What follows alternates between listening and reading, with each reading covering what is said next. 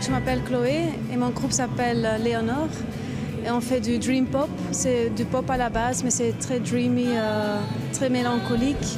Et euh, je joue avec des nouveaux musiciens depuis quelques mois. On a enregistré un EP.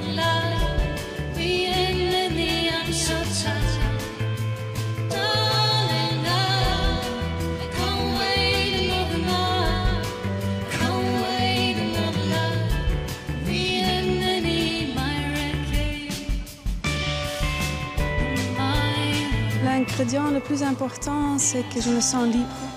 C'est pas facile parce que je suis souvent très concentrée. euh, J'ai un visage très strict apparemment. euh, mais euh, je me sens toujours à l'aise avec mes musiciens qui sont super doués.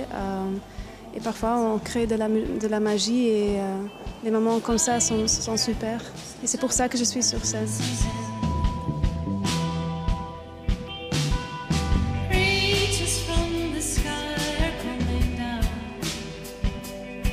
Mes parents, ils écoutaient euh, David Bowie, mais aussi Beyoncé, Björk. euh. donc c'était euh, un goût un peu commercial, mais très large. Et ça m'a aidé beaucoup, je crois.